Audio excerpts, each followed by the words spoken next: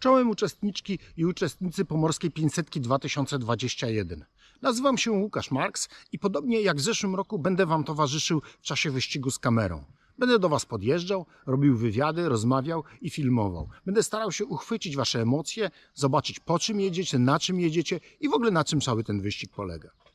W zeszłym roku wiele osób dzięki temu miało tak zwaną filmową pocztówkę z wakacji, a mam nadzieję, że w tym roku ujęcia będą równie udane, jeśli nie lepsze, dlatego że szykuje się przepiękna pogoda. Życzę Wam w takim razie udanego wyścigu i do zobaczenia na trasie. Cześć, cześć!